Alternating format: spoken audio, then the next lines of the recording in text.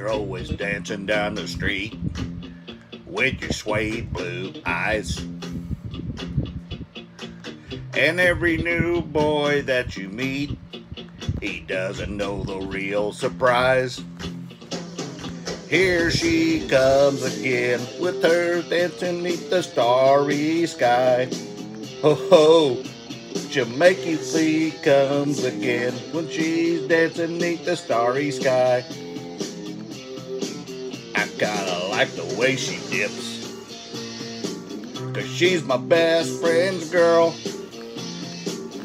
She's my best friend's girl. Ho ho, ho ho. And she used to be mine.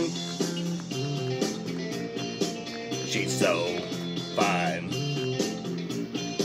You got your nuclear boots and you drip dry gloves. Oh, when you bite your lip, it's some reaction to love. Ha ha, ha ha. Here she comes again when she's dancing neath the starry skies. Here she comes again when she's dancing neath the starry skies. Oh. Cause she's my best friend's girl. She's my best friend's girl. Go JT! And she used to be mine. She's so fine.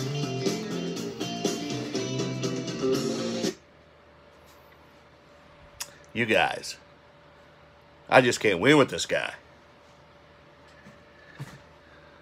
You enjoy that cap guy? yeah, I sure did. That was a pretty good. Love that song. I was listening to that running around yesterday in the 80 degree weather with my top down.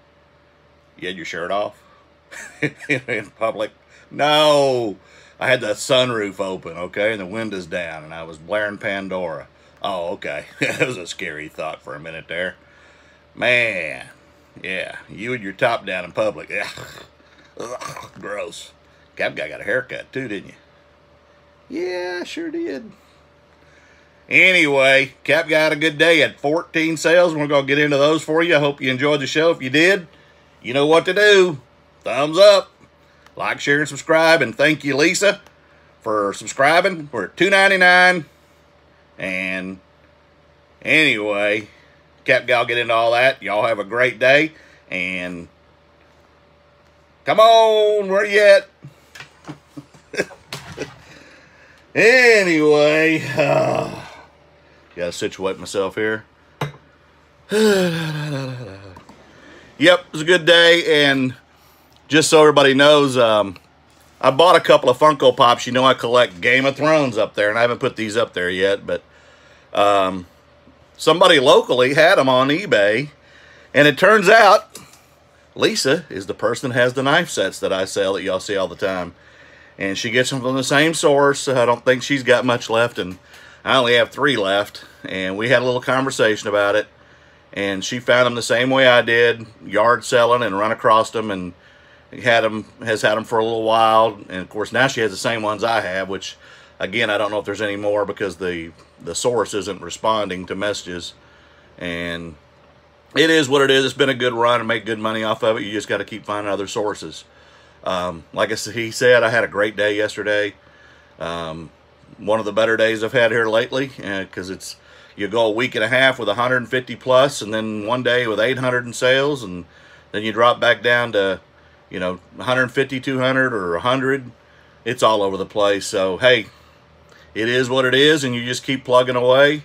Uh, payments did hit my bank yesterday. When I showed you the deposit that deposit hit but when I went to look at the list of the three pages of items that had sold, I knew there was more than $500 in sales because I do more than that in a week. Um, and uh, it's all the stuff that cleared processing and payments that actually got deposited. So there's still a lot of stuff on that sheet. And then obviously yesterday's stuff. There was another deposit this morning. It shows pending for 101.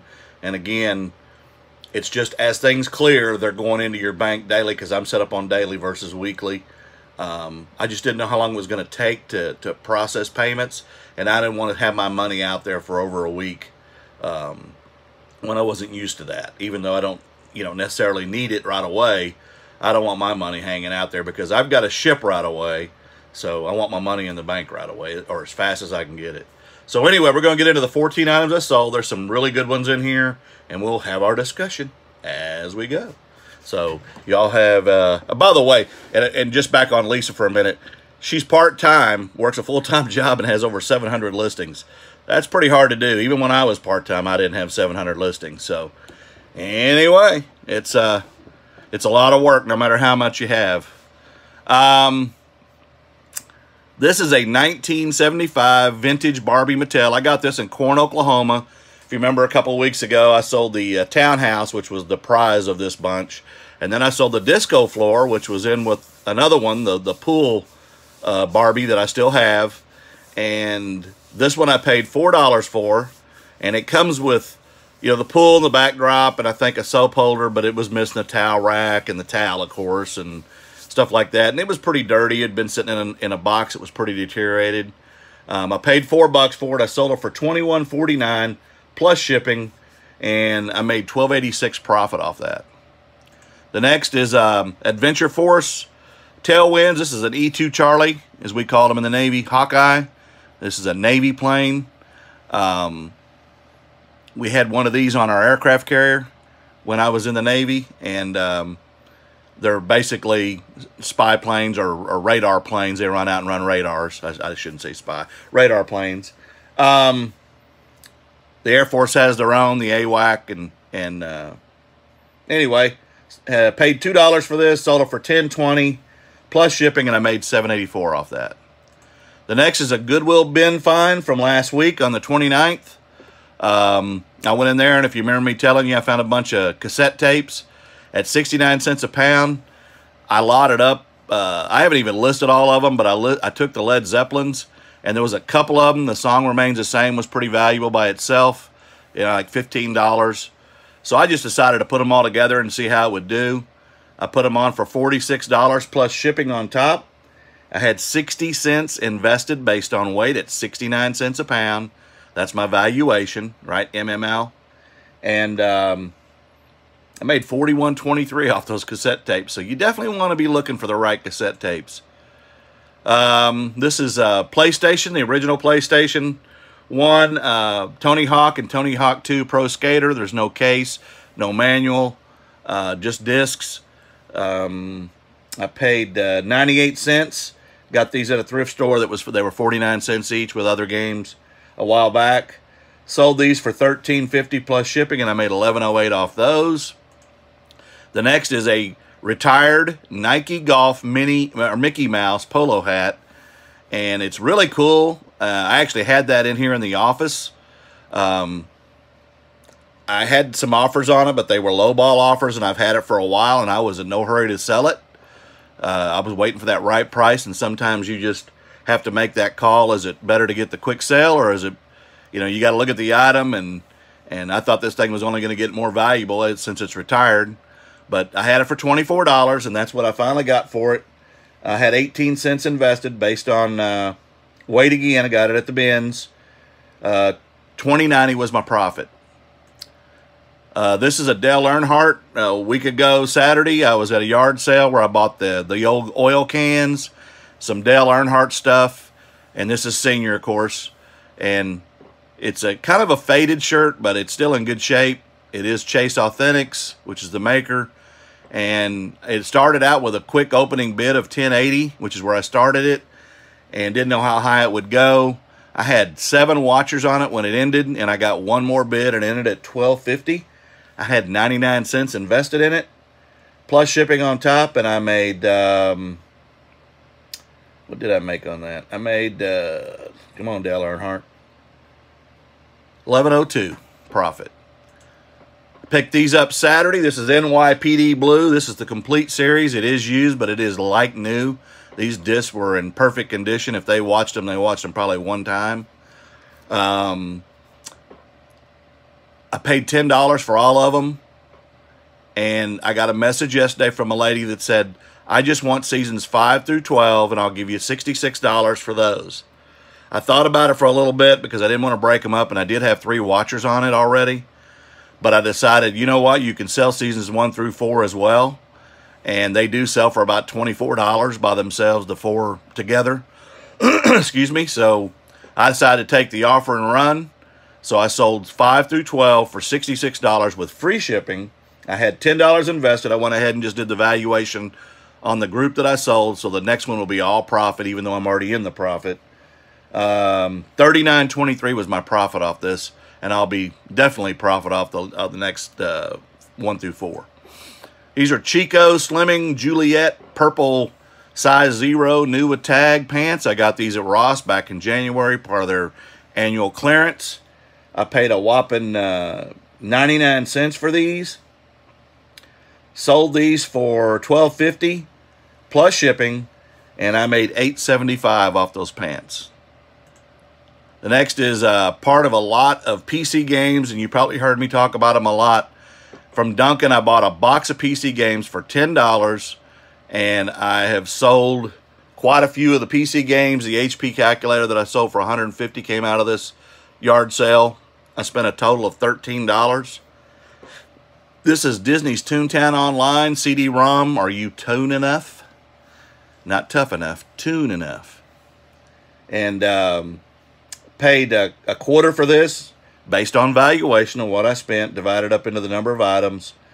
And I sold this for $5.99 plus shipping, and I made $5.22 on it. The next is another lot from that same yard sale. This one I wasn't sure. I didn't want to do the evaluation of, of or putting them individually out there. This is a lot, and it's quite a few of them. Um, kind of the remaining ones that were children's. There's some preschool, pet school, Junior Detective, there's math, uh, Winnie the Pooh, there's, it's more learning and educational things for kids. So I put them all together. I valued these at $2. And I sold these for ten ninety nine plus media mail shipping. And I made 684 off those. Just more profit. the next are Miss Me Distressed Jeans. These are size 8, which would be a child's. Um, I paid, I think, $5 for these last summer. No more than that. Um, so that's what I valued them at because I wasn't totally sure. Um, I, I, obviously got these at a yard sale because I did not have them in my SKU. Uh, this is the smallest size I have. And I sold them for 16 15 plus shipping. I made 11.32 off those Miss Me jeans.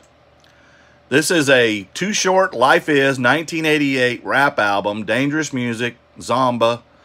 Um, it says it's rare, and obviously by the price that was paid for it, it probably is. I did take it out of the sleeve and play it, just each song, to make sure it wasn't scratched because there were a couple of marks on the record. I wiped it down pretty good, and then I put it back in the sleeve, and I protected it. Excuse me. I paid a dollar and a penny at Goodwill for this. Um, back on uh, July 3rd, and I sold this for $58 plus media mail shipping, and that's how it went. I made 47 57 off that album. next is another, uh, just sold one of these the other day. I have three left. I bought five of these at a yard sale in Duncan, Oklahoma. It was the first one we went to that day. These con they value at 20.59. Almost got there, MML.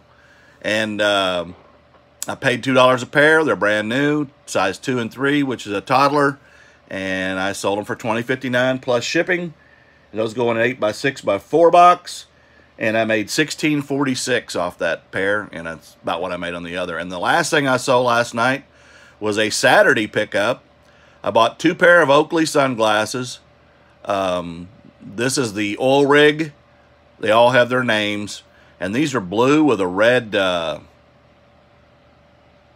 the O, I guess. They're plastic, but uh, they valued it around $70 or so, and that's what I put them at. I paid $10 for them at the yard sale, as well as the other pair, which are a little more valuable. And I sold them for 70 made 51.46 profit.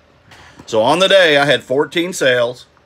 I had a total of 40.01 in cost of goods 387.91 in sales, and my profit yesterday was 291.78.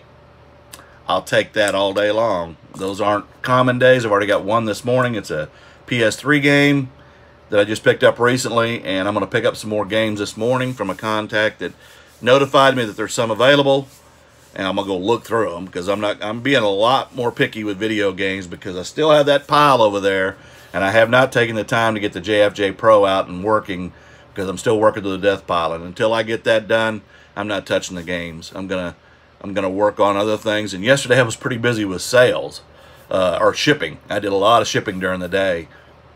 And uh, so I've already got everything shipped today, including today's the purchase. And I'm heading to the post office here in a little bit. And y'all have a great day. Like, share, subscribe. Again, set at $2.99. Not going to worry about it. Y'all have a great day. And the cap guy and JT will talk to you tomorrow.